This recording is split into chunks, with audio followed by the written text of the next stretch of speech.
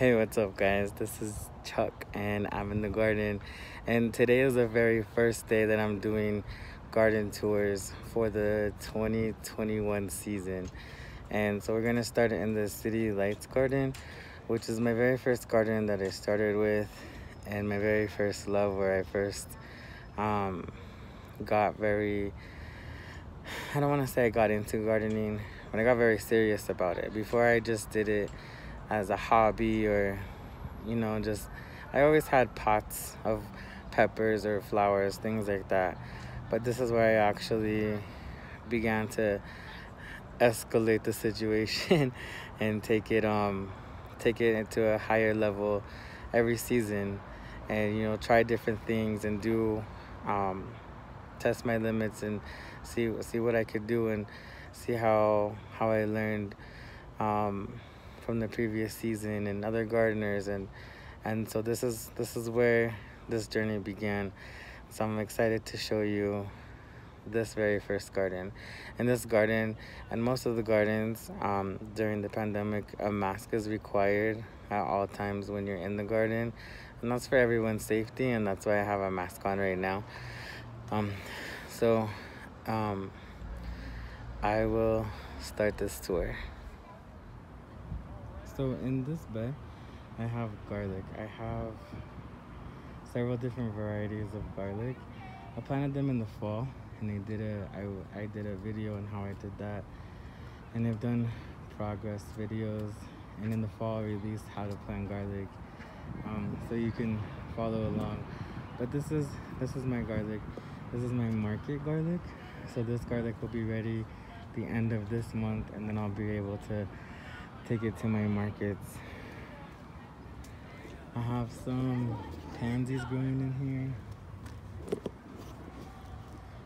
And this is a solar light that I got from my mom's house. And so, um, it's a piece of home. This is some cilantro that reseeded itself. A couple of weeds. We've had lots of rain. And then there's this sunflower right here in the corner. It comes back every single year and it gets taller than this whole gazebo. And um, I let it grow. It's gorgeous and it's, it's, I love it. But this is all of the garlic that I have for this season. I planted more, a different variety, but it didn't sprout at all. And so I'll cover that in my video.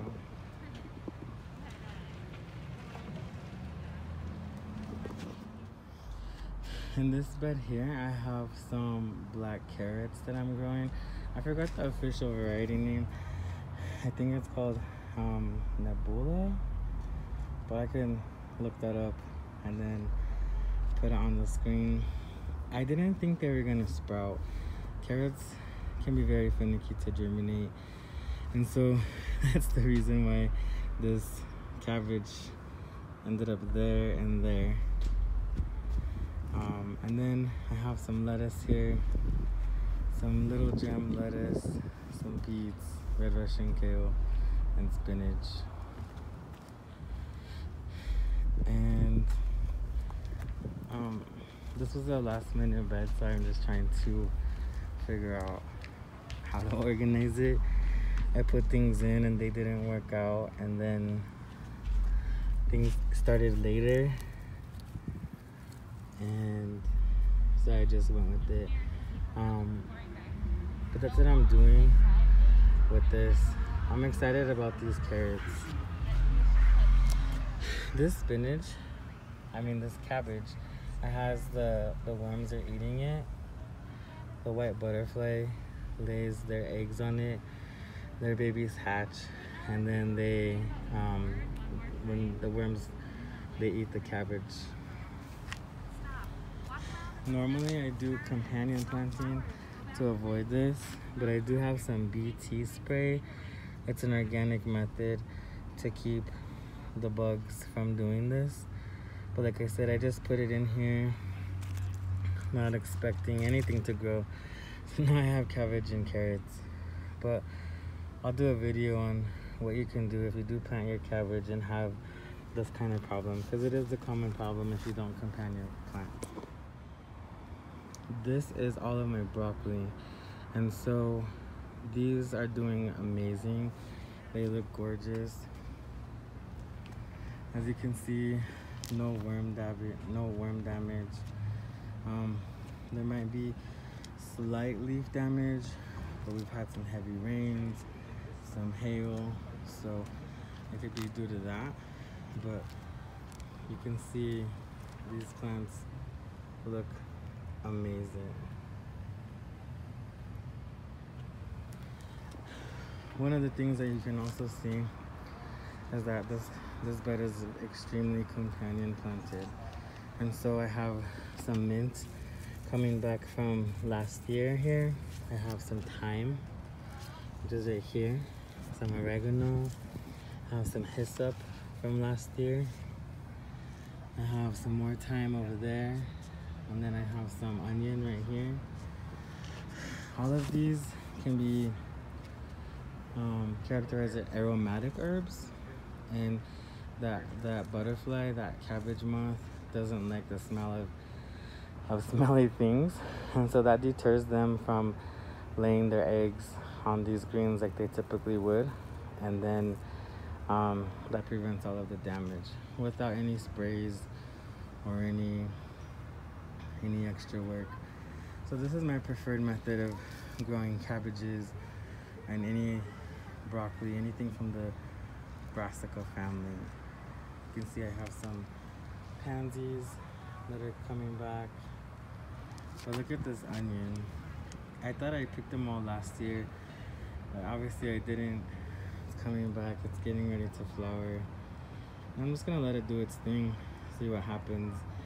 I heard that the most viable onion seeds are from the current season, so why not?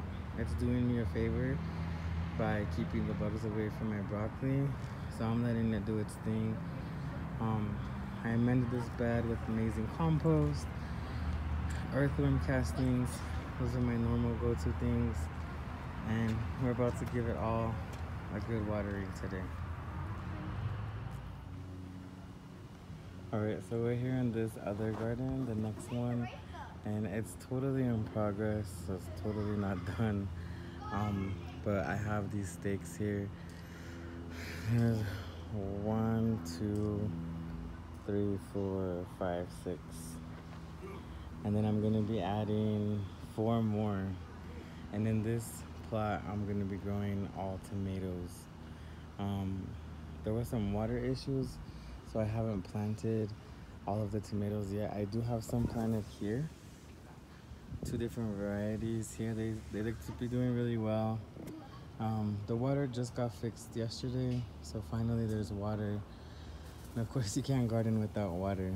And so now I'm gonna complete planting and complete this, this plot. Um, it's just a lot of work to have to bring water to water. And it's so hot and it's just not enough. You can't bring enough water to water efficiently. And these these guys are in the shade, so that's why they're probably doing as good as they are because they're not in the sun as much as the rest of the plot would be. Um, these papers and these things you're seeing are not trash. I use coffee grounds and eggshells, and I also keep the filters. So those are my coffee filters. Um, they break down as you can see, and so I just I just leave them here. I work them into the into the plot, and and my soil. This is just grass that was growing, and the same thing. I just, since it, I want whatever it took out of here back into my soil. And so I just keep that here. It's not a mess, it's actually intentional.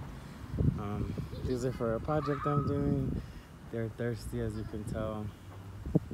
It's a pretty small space, but it's a big enough space to grow tomatoes to have enough room in between for airflow.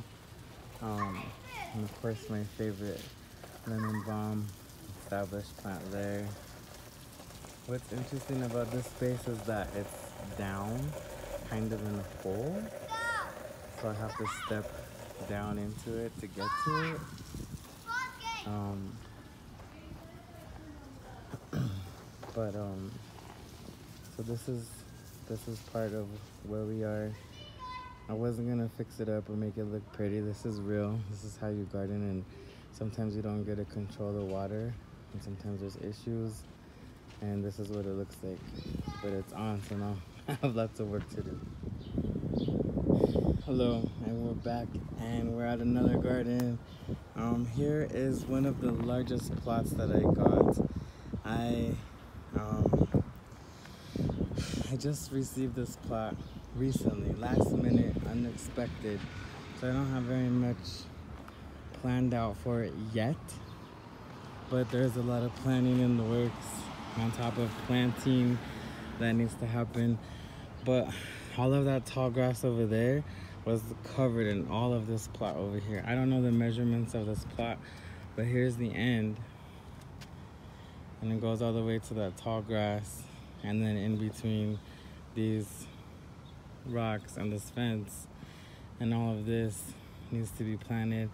Covered in weeds. I took the majority of it out with the help of my sister, my superstar sister. Um, and then so what I've been using it for so far is a place for my plants that I take to the market to rest in between in between the markets.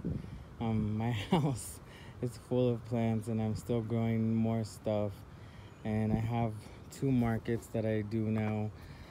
And so um, it's warm enough at night and during the day. These plants are hardened off which means that they are not harmed by the sun but do better. And so they're just growing more and more. And instead of taking up space in my car or trying to juggle them in my house. I leave them here. Um, it's easy to water them. It's easy to be messy with the water and all of that. They're outside. And so this is this is working out for me for now. Um, like I said I don't have a plan for this garden yet. Most of the time I literally sketch a, a map and draw what I'm gonna grow where I do a lot of companion planting and that just really helps to make sure that I'm successful, that I have the least amount of pest and disease problems and the most productivity. And I, I get the most out of the space that I have. Obviously this is a large space, but it's not a whole yard or a whole garden. And and so for one garden this would be perfect. But because i'm a market gardener um, this is and you know one one weekend at a, at a market and this could this could be all. And so this is not this is not enough space just to have one and that's why i have several throughout the city and that's why i'm doing this tour. Just to show you a lot of people are asking me during the markets where do you grow and how do you do this and where are you located? And i'm literally everywhere. So this is garden number three and i believe this is plot number five so next week we'll see how much work we've done since this last video hey y'all almost out of light for the day i just wanted to finish this tour um, this is one of the. this is the next garden. Um, one of the these are this is one of the gardens that has some water problems, and so um, they're trying to get that fixed. They've been trying to get that fixed for a while. But as you can see, I have a trellis here, and this one I plan to grow several different varieties of cucumbers on both sides of it. Underneath, I have some Mexican sunflowers, radish, different varieties of lettuce, things that prefer the shade and don't mind the shade and um, will do better in the shade once the cucumbers get growing. One of my favorite lettuces that I have is this dark one. I don't know the name, the variety, but this is so gorgeous to me. but they all are doing really well and I'm proud of that. My um, seedlings are coming up. The seeds I planted. This one is actually the Armenian yard long. And all along the edges you could see that they're coming.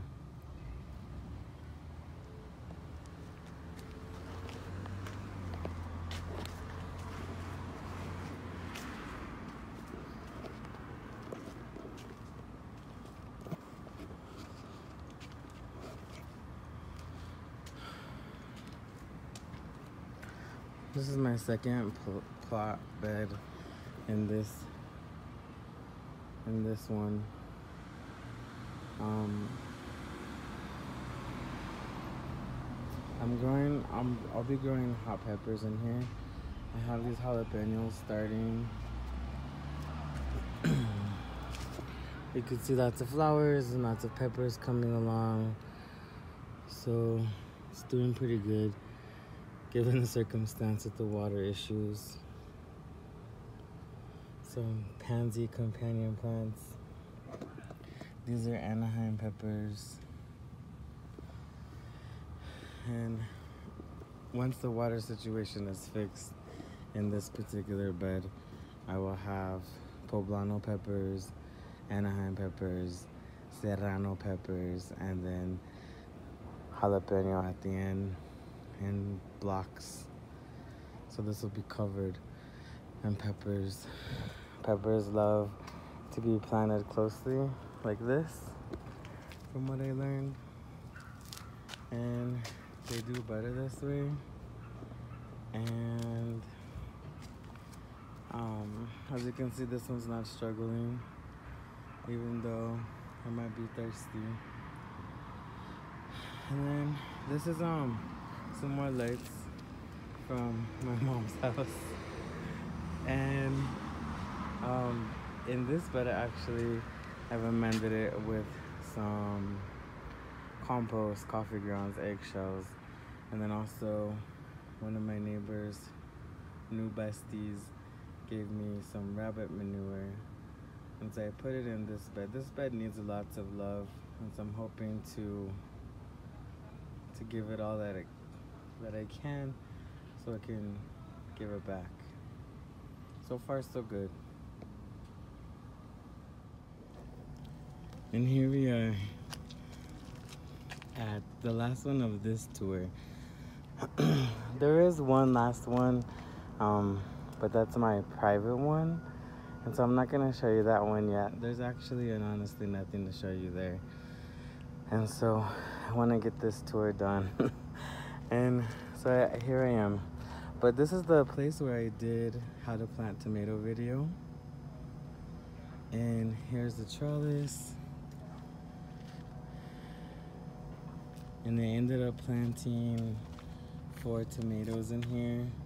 As you can see how much this one has already grown since I planted it. I haven't pruned it or anything. There's actually some flowers coming on. Um, some basil I put on from seed. I think this one is licorice basil. Everything needs water. It's been really hot lately, but everything has just grown with the heat we've had. Um, this is a basil pot, variety of different basils. Some more from seed. Looks like they're, they're coming up. Forgot which one I put there. I love all basil, so it doesn't really matter to me. Um, I put some here, but I don't see any yet. And I also put some here. And there they come. And then all right here, along the side, I put lettuce seed. So mixed salad greens. And as you can see, really coming in. Really filling up. And of course another light from my mom's house. um and my mom she gave she got a bunch of new ones. And so she gave me all her old ones that still worked. So she knows but I like saying that I took it from my mom's house.